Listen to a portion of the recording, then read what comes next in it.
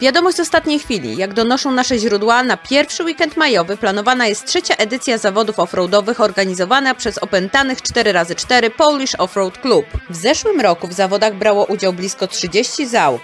Zjechała się też pokaźna liczba kibiców, aby w malowniczej scenerii Zatoki Barmów bawić się i dopingować swoich faworytów. Relacje z zawodów prowadziła Terenwizja, dobrze znana w offroadowym świecie. Dla jednych zawody były świetną zabawą i sprawdzeniem możliwości swoich terenówek, dla innych była to walka o zwycięstwo. Zawodnicy startowali w dwóch klasach standard i extreme. Zróżnicowany teren przysparzał wielu kłopotów i niestety nie obyło się bez strat. Na szczęście nie były to straty w ludziach, a jedynie większe lub mniejsze uszkodzenia samochodów. Na podium stanęli najlepsi. Odbyło się uroczyste rozdanie nagród, po którym bawiono się do białego rana.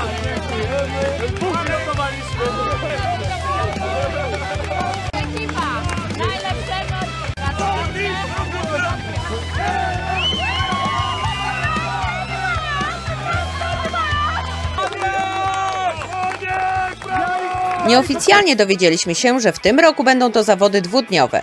W programie zbieranie pieczątek, czasowe odcinki specjalne, Tag of War, a także zabawy i konkursy dla najmłodszych. Mega wam dziękuję, że tu jesteście, udało się.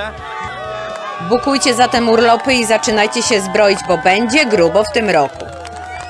Szczegółowe informacje dostępne są na facebookowej stronie Opętani 4x4 Polish Offroad Club.